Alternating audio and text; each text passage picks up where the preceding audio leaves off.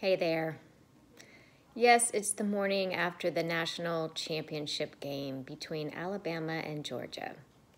And as you can see, I felt very strongly about wearing my true colors today.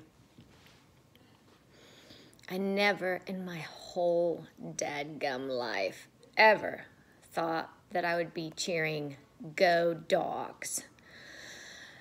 But what people have to understand is that we are sick and tired of Alabama winning all the time. Now, that is sour grapes. I know. I don't care. It's the truth.